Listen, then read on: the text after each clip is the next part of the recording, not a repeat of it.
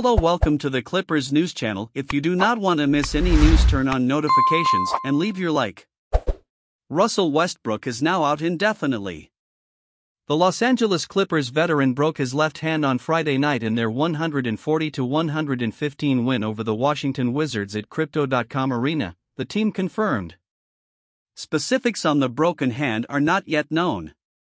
It's unclear if he'll need surgery, or if he'll be able to return at any point this season. Westbrook appeared to injure his left hand early in the second quarter while trying to reach from behind and poke the ball out of Wizards guard Jordan Poole's hands while on defense. Westbrook quickly reached for his left hand after doing so, clearly in some pain, but he remained in the game. Westbrook again reached for his left hand at the next stoppage of play. He was eventually subbed out of the game and did not return.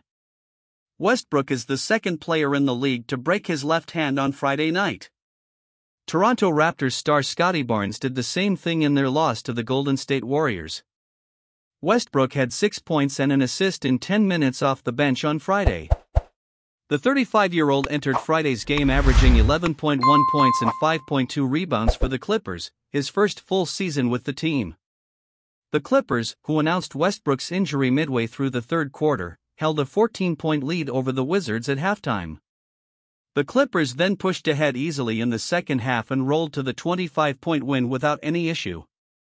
They held the Wizards to just 21 points in the third quarter and committed just 8 turnovers as a unit. Kyle Kuzma led Washington with 32 points and 7 rebounds. Poole added 16 points off the bench. The Wizards are now just 9 to 51 on the season, which is the worst record in the league.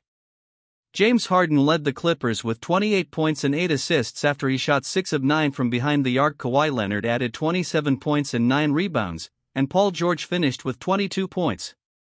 The Clippers shot better than 57% from the field as a team.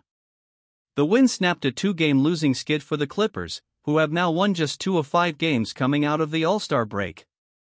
They hold a 38 20 record, and will travel to the Western Conference leading Minnesota Timberwolves next on Sunday.